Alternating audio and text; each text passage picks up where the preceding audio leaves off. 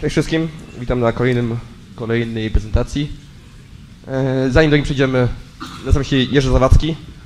Jestem programistą od 10 już lat. E, Od 7 lat pracuję w firmie Polcode. W wolnych, wolnych chwilach chodzę po górach, biegam z aparatem, ze służbami specjalnymi, buduję z klocków Lego. Trochę jak przy- przywitanie z 1 z 10, ale, ale co tam? Trochę o firmie, to jest wykład sponsorski, żeby nie było, że nie oszczegałem. E, To, to jest wykład sponsorski e, firma Polcode, która jest sponsorem e, całej konferencji i też tego, tego wykładu.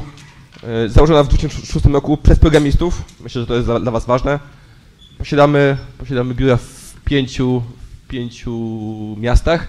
Mamy też ponad 40 pracowników zdalnych. Co jest dla Was ważne, to to, że każdy z Was w pakiecie otrzyma taką małą kaczuszkę. Rubber, rubber duck, duck debugging. Ogólnie zasada jest prosta. Jeśli wy do niej mówicie, to jest ok, a je- jeśli ona do was mówi, to radzę się zastanowić. Dobra, temat. Jak stać się lepszym programistą? Po co ta prezentacja? Uważam, że po pierwsze nie chcę wam mówić, jak macie kodować. W internecie jest wysta- wystarczająco dużo ludzi, którzy wam- o tym mówią. Jak za- zapytacie o cokolwiek. Y, Ja chcę wam pokazać, że nie ma jednej drogi. Że nie wszystko jest, jest czarne albo białe. E, Gdyby, gdybyśmy was zapytali, co to znaczy, jak stać się le- lepszym programistą,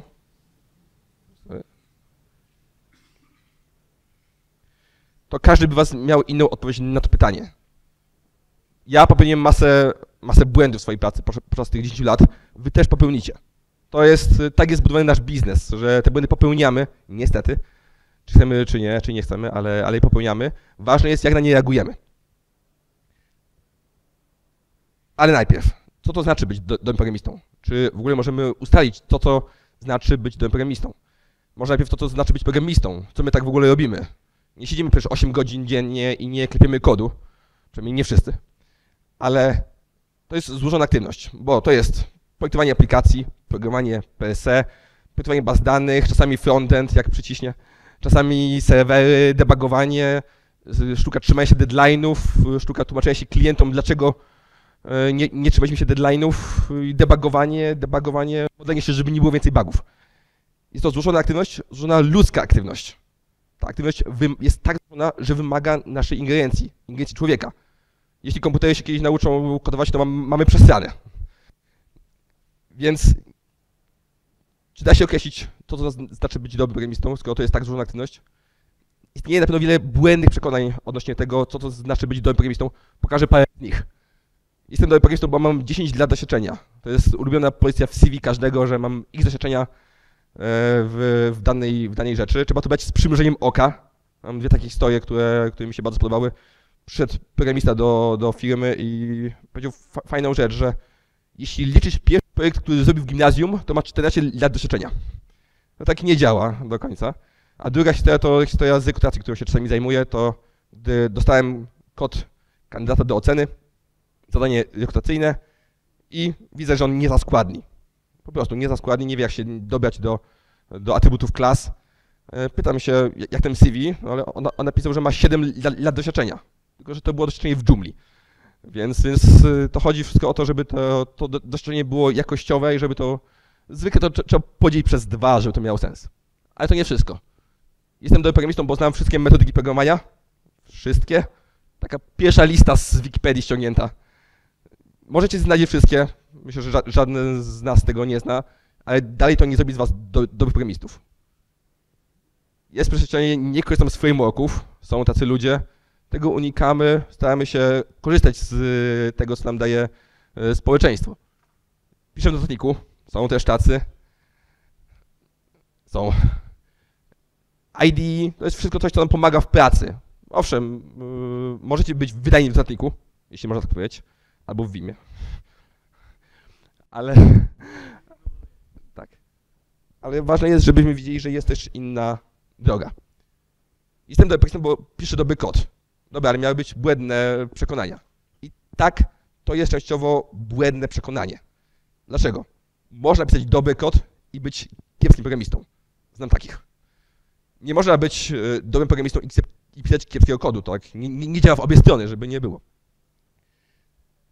O dobrym kodzie. Cała ta konferencja jest y, częściowo opisaniem dobrego kodu.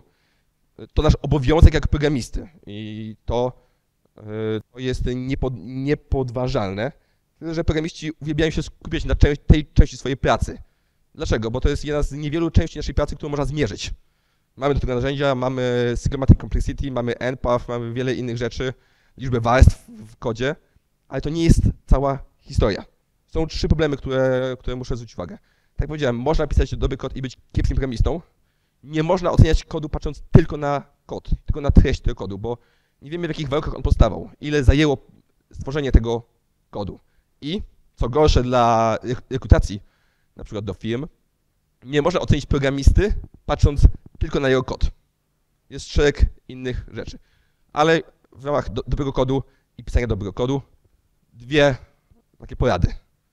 Zawsze kod tak, jakby gość, który ma się nim zajmować, był agresywnym psychopatą, który wie, gdzie mieszkasz. To jest zawsze dobrze o tym pamiętać w tle. Druga zasada, myślałem, że nie da się zrobić większej czcionki tego. To jest rzecz, o której programiści zapominają. Bo w tych wszystkich architekturach, warstwach aplikacji, które tworzymy, mamy tyle narzędzi, że zapominamy o tym, żeby to było proste. Nie, żadna inna metoda programowania nie da nam takich rezultatów. Rezulta- rezultatów. Musi być proste, mniej kodu to mniej błędów. To jest prosta zależność. I druga, korzystajmy z got- gotowych rozwiązań. Po coś one zostały e, stworzone. To może zaboleć, ale myślę, że każdy to, to wie. Nie da się napisać idealnego kodu. Ale żeby nie było, to nie jest wymówka, to nie jest zachęta do pisania brzydkiego kodu.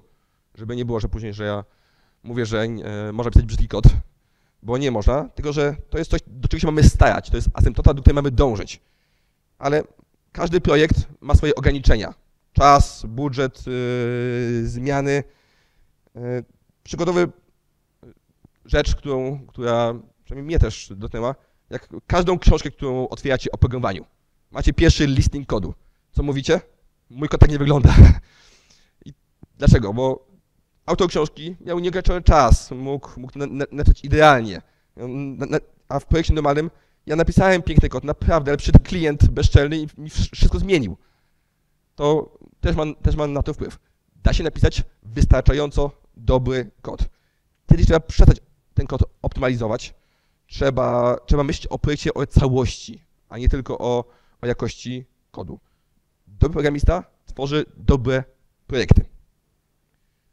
Brzydki kod, który robi to, co powinien, jest lepszy od najpiękniejszego, ale niedziałającego. E, Taki przykład z życia. Brat zabrał mnie do swojego świeżo wykończonego mieszkania no i pokazuje mi, że klamka pasuje do żyrandola. Tutaj Blacik jest taki sam kolor, jak są krzesła. Dlatego, że nie ma wody w łazience, więc tam naprawdę się jeszcze nie da zamieszkać. I nasz cz- czasami tak wygląda. Pokazujemy swoim e, kolegom z pracy, patrz jak tu ładnie użyłem DDD. A co to robi? Jeszcze nic.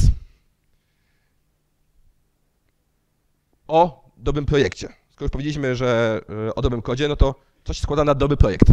Tutaj się chciałem oprzeć e, nie na swoich jakby e, swoich wy- wymyślonych rzeczach, ale na książce. Książce autora, który już był wspomniany na konferencji dzisiaj, Geralda Weinberga. Psychologia, kom, psychologia programowania komputerowego. Chciałem zwrócić na rok, w którym ona została wydana.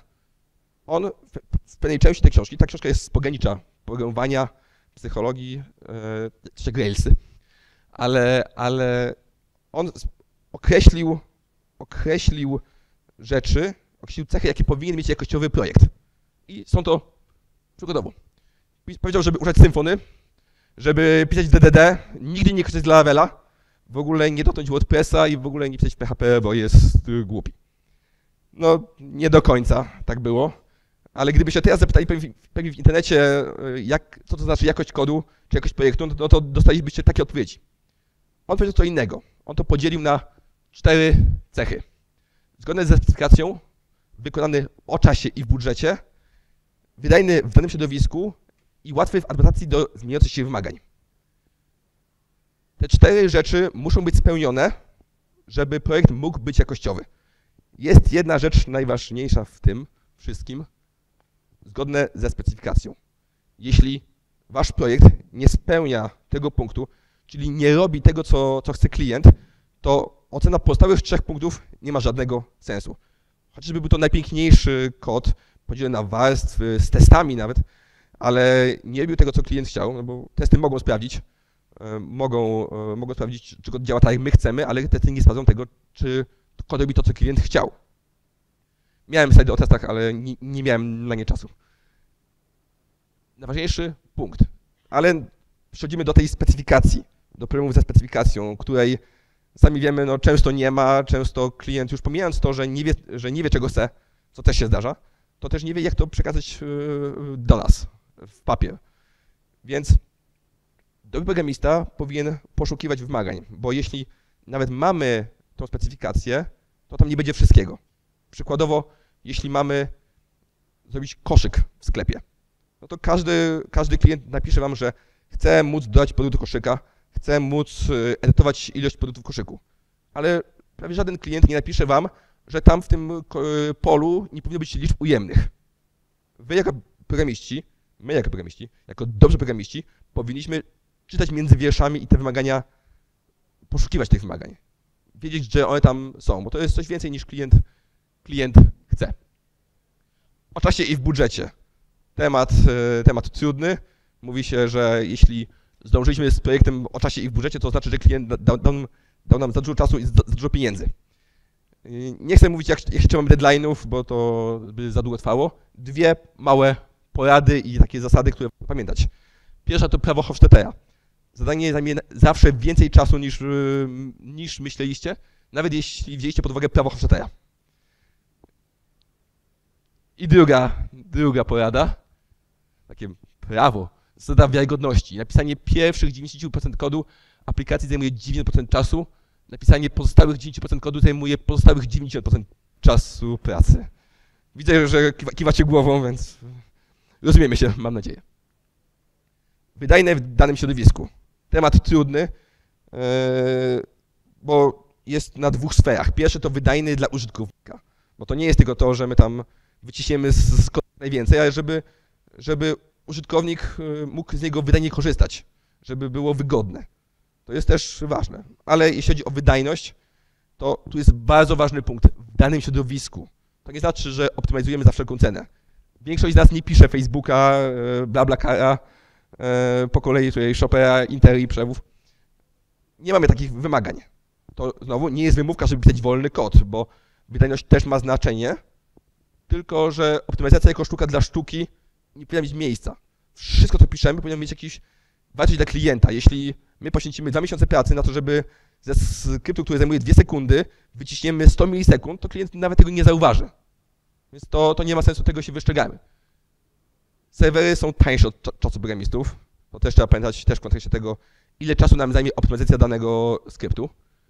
Najszybsze zapytanie to takie, które się nie wykona, czyli cache all the things. To też ma inny wpływ, to, że najszybszy kod to taki, który się nie wykona. Tu już nie chodzi o, o zapytanie czy o, czy o cache, ale chodzi o czasami to, że możemy dostosować wymagania klienta do tego, żeby pomóc mu z wydajnością. Na przykład nie oddawać wszystkiego od razu, yy, przewijanie, przewijanie strony może, może pomóc. Możemy dostosować jedno do drugiego. I ostatni punkt, który spędza sens powiek programistom, czyli łatwe w adaptacji do zmieniających się wymagań. Zmiany. Zmiany będą. Musimy być na nie przygotowani. Kto sądzi, że nie ma z, z, zmian i, i, nie lubi zmian, to powinien zmienić, zmienić e, pracę i kierunek rozwoju, bo zmiany będą. Tylko pytanie, które wymagania projektu mogą się zmienić? Wszystkie. Nic nie jest zapisane w kamieniu, wszystko może się zmienić. Czy to znaczy, że powinniśmy na wszystkie się przygotować? Nie. Nie damy rady przygotować się na wszystkie zmiany w jednym i różnym projekcie. No to skoro nie na wszystkie, no to na które nie możemy losować, Porozmawiamy z klientem. Klient wie, klient zna swój biznes, wie, co może się zmienić, co raczej się nie zmienić. Ale, yy, co chcę powiedzieć, zbyt, zbyt duże planowanie na początku i wczesna optymalizacja potem architektury jest tak samo zła, jak nieplanowanie w ogóle. To działa w obie strony. Po pewnym czasie będziecie wyczuwać, które wymagania mogą się zmienić, yy, które, które nie. Yy, klient tak ma taką małą supermoc, że on zawsze wykrywa nasz strach, nie? Który, moduł, który moduł jest u nas najgorzej napisany. Miałem taki przykład niedawno, że przez miesiąc miałem zmiany w jednym module, który nie był idealny, daleko mu było do tego, więc klient co, co tydzień dawał, dawał zmiany, po miesiącu się, się wkurzyłem, powiedziałem dość, zrefaktoryzowałem moduł, od tego czasu nie było w niej ani jednej zmiany. Można i tak. Te cztery punkty mają jeszcze jedną cechę. Grają swoją rolę tylko jeśli są razem. Nie ma projektu, chyba że w przetargach, który, bo mają nie- nieograniczony czas i budżet, ale nie ma projektu, w którym będzie super przy każdym z tych punktów. Te punkty zależą od siebie. To jest sztuka kompromisów. Najczęściej te dwa dolne się, się wymieniają, czyli rezygnujemy, z adaptacji na rzecz wydajności. Ktoś powiedział, nie wiem, nie wiem kto, dzisiaj widziałem ten, ten cytat, że posiadanie szybkiego i łatwego do adaptacji skryptu to jest jak posiadanie pięknej i skromnej żony. Są takie kobiety, ale, ale rzadko, ale lepiej mieć albo jedno, albo drugie, niż mieć, nie mieć nic. Więc każda z tych rzeczy może być zamieniona na, na inną. Czyli możemy zrezygnować pewnych, z pewnych e, wymagań na rzecz tego, żeby- żebyśmy zrobili projekt o czasie. Czy na rzecz adaptacji, na, na rzecz wydajności i wydajność na rzecz adaptacji. Przykład. Przykład papierowego kubka, który wymyśliła moja e, żona. Sprawdźmy, czy ten kubek papierowy, czy ten projekt jest zgodny z tymi czterema punktami Weinberga, o których on, on mówił. Po pierwsze, jest zgodny ze specyfikacją.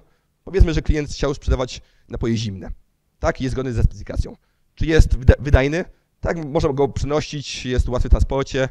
Czy jest y, o czasie i w budżecie? Jest tani, jest najtańszy, jak- to możliwe. Super. Czy jest zdolny do zmieniających się wymagań? Ale pytanie, jakie wymagania mogą się zmienić w papierowym kubku? Klient może chcieć podawać napoje ciepłe.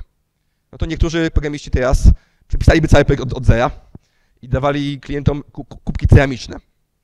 To się nie uda, bo on jest za drogi, klient by poszedł z torbami, gdyby oferował do każdej kawy na wynos y, ceramiczny kubek. Jakie jest zdanie?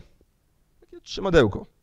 Małe, małe kartonowe trzymadełko, które, które spełnia te, te wymagania. Dalej jest y, wydajny, dalej jest tani, dalej jest zgodny ze, ze specyfikacją, która się teraz zmieniła. Super. Programiści powinni, powinniśmy dopasowywać rozwiązania, których używamy, to jak kodujemy, to jak projektujemy naszą aplikację, do tego, co klient potrzebuje. Nie do tego, że ktoś nam powiedział, że czegoś trzeba używać albo czegoś nie wolno używać. Tylko, tylko musimy to do- do- dostosować. Są projekty, w których WordPress spełni wymagania. My wiemy, jaki ma kod WordPress. Wiemy, że jak, jakie ma problemy. Ale są systemy, w których on się nada. Są takie projekty, są tacy klienci, których wymagania on spełnia. Są projekty, do których Laravel się nada. E, Nie ma strzał, to dobrze. Nie lubię jego kodu, nie poda mi się on, e, ale wierzę, że, że są takie projekty tak małe e, i tak ukierunkowane, że to, to jest ok. Nie ma jednego, jednego rozwiązania. Dobrze, ale można pisać dobry kod, można pisać dobre projekty, ale to dalej nie zrobi z was dobrych programistów. Sorry. Jest jeszcze masa tak zwanych soft skill, czyli miękkich, którym programistom często brakuje, która jakby dopełnia tego wszystkiego. Przede wszystkim myśl. Myśl za siebie. To ty będziesz pisał ten kod, to ty będziesz e, z tego, później go przypisywał, jak coś będzie nie tak. Po prostu myśl. Ale to nie znaczy myśl tylko o kodzie, bo tak powiedziałem, kod to nie wszystko. Skoro nie o kodzie, to o czym? Po pierwsze o kliencie i jego potrzebach, o problemie, który mamy zrobić, o użytkownikach. Kto to jest? Jak, jak korzystać z na- narzędzi, które tworzymy? W większości naszych wypadków nie tworzymy, nie tworzymy naszych projektów dla deweloperów. Tworzymy dla zwykłych śmiertelników. I to jest takie określenie, że chcemy myśleć jak programiści. Chcę myśleć jak, jak programista, wtedy będę dobry. Nie, wcale nie. Chcesz myśleć jak użytkownik, który będzie korzystał z twojego oprogramowania. Myślisz o przyszłości, o tym, co się zmieni, o tym też, jak jacy programiści przyjdą do ciebie. A nuż, może któryś jest tym seryjnym mordercą, o którym mówiłem wcześniej. Lepiej, lepiej nie, nie ryzykować. Zachowuj się jak profesjonalista, czyli dwie sprawy. Profesjonalista bierze odpowiedzialność za, za swoje błędy, bierze też odpowiedzialność za błędy swoich wyborów, czyli na przykład y, wybór techniczny, wybory frameworku, wybory rozwiązań. Jeśli błąd jest w tym, e, w tym rozwiązaniu, to jest to naszą sprawą, żeby to naprawić. I drugie, profesjonalista, amator. To jest największa różnica, e, która, która jest. Profesjonalista pisze kod dla innych, do tego, żeby go, inni z niego korzystali. Amator pisze kod dla siebie. To jest różnica taka, że amator nie ma wymagań klienta, nie ma klienta. On wie, jak będzie z tego oprogramowania, który pisze, korzystał. Tak samo jak, jak mówiłem wcześniej o tych, o tych książkach. On pisze kod idealny. Jeśli pisze kalkulator, to on wie, że nie będzie tam wpisywał liter czy apostrofów. Klientowi, każdemu i użytkownikowi temu nie powiecie. Profesjonalista ma dużo więcej problemów. Trzyma się standardów. Krótko, nie mówię jakiego standardu, jakiegokolwiek. Jeśli wasz kod chociaż, chociaż będzie spójny i czytelny, to jest ok. Nie musi powiedzieć nie wiem. Nie wiem o co chodzi w projekcie, nie wiem jak to działa, nie wiem czemu to działa. To nie jest, to nie jest źle.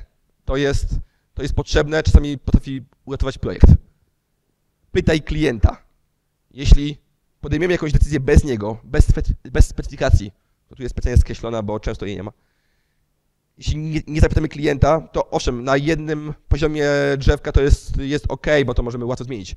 Ale tak przez cały miesiąc idziemy swoją drogą, to w pewnym momencie możemy być po różnej stronie projektu niż nasz klient. Pytaj dlaczego. Tutaj y, są dwie sprawy, bo nie da się napisać projektu nie znając y, dlaczego y, użytkownik z niego korzysta, jakie są cele biznesowe, które on chce, chce wykonać. I po drugie, dlaczego inni programiści używają danych narzędzi. Dlaczego, dlaczego korzystamy z DDD? Dlaczego napisałeś ten kod tak, a nie inaczej? Czy pytał was, was ktoś, pytał ktoś z was kiedyś na jakimś forum, na jakiejś grupie, jak zrobić X w Laravelu? Jaką odpowiedź otrzymaliście? Czy to wam pomogło? Nie. My nie wiemy, czemu skorzystaliście z Laravela. Może dla waszego projektu to jest ok. Może już to zastaliście. Taka odpowiedź nic nie przynosi. My możemy poradzić, ale staramy się swoje problemy nawzajem rozwiązywać. To wszystko się sprowadza do komunikacji. Komunikacji między programistą a klientem i między dwoma programistami. Niektórzy programiści chcieliby się zamknąć w piwnicy i tylko tam siedzieć i kodować, ale tak się nie da. Empatia. I to zaznaczam, że to nie jest jakiś nowy framework, który powstał, to jest, y, to jest y, prawdziwe pojęcie.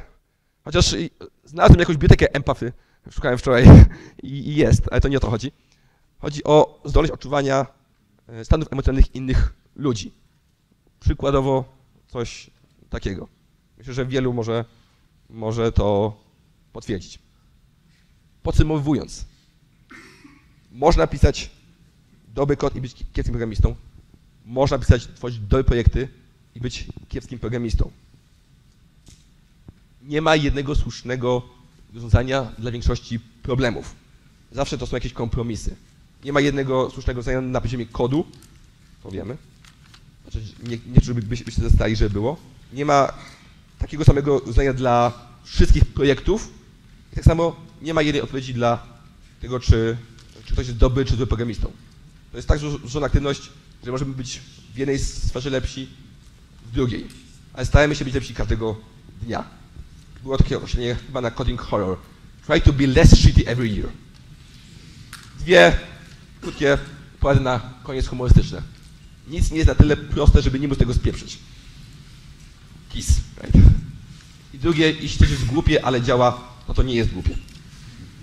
Dziękuję. Jeśli są jakieś pytania, to zapraszam.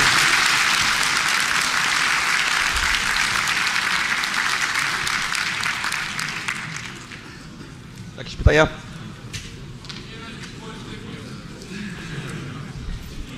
I have a dream.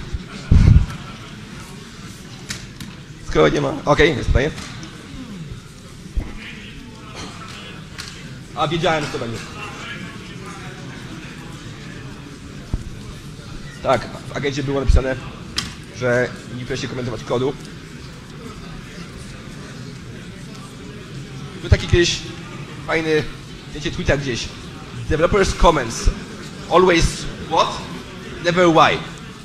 To jest duplikacja w większości wypadków. Jeśli takie się powstaje, to tego nie, tego nie, po prostu nie piszmy tego kodu, tego ko- komentarza.